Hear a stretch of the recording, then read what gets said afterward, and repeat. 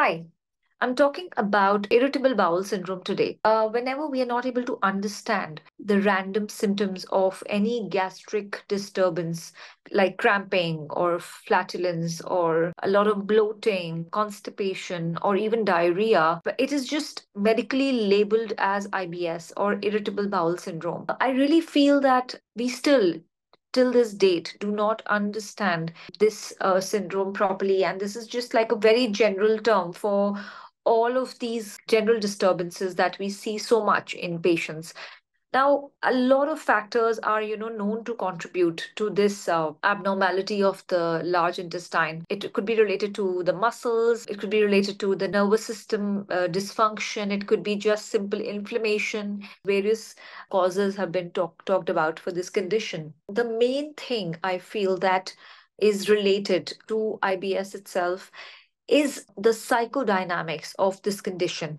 I mean to say, the psychological factors that a person is processing in their lifestyle, everyday life, uh, what a person is facing is extremely important, uh, you know, in this condition like any kind of uh, stress or any anxiety that a person is suffering from it's very important to understand. I always feel that when we see such cases, the levels of anxiety and the levels of stress are really, really high in uh, those cases.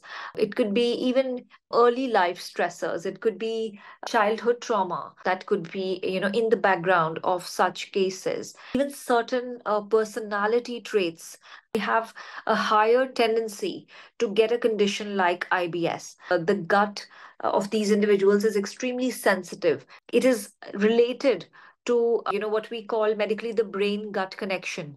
With homeopathy when we try to understand such a case it's about the negative emotions and the emotional states that a person has undergone uh, in the past or uh, could be that is currently uh, that they are undergoing. So when we understand their coping mechanisms uh, in life in general when we understand are they you know seeking support? Are they not seeking support? Are they avoiding it? Are they in denial?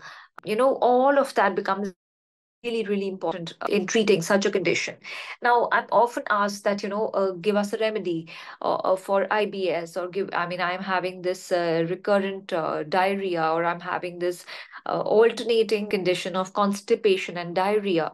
So please note that you know with homeopathy it's extremely important to understand the psychodynamics of the case. And if you just you know look into uh, deeply into homeopathy and how we prescribe for uh, you know chronic states like ibs you will understand that it's very difficult to uh, understand.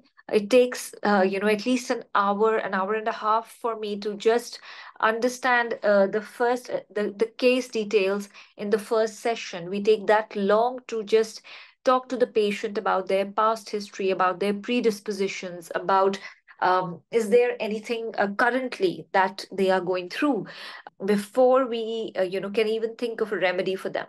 So I, I i wish like you that you know there was a specific remedy that we could take and be, which would really help states like the like that but it's just it's just not possible to suggest remedies just on the basis of the diagnosis that is or the named condition that is IBS we we really need to dig deeper into these cases and uh, you must must seek the help of a professional if you are dealing with a condition like this because uh, this is a serious condition and long term treatment with homeopathy is an extremely viable and great option for the treatment of IBS.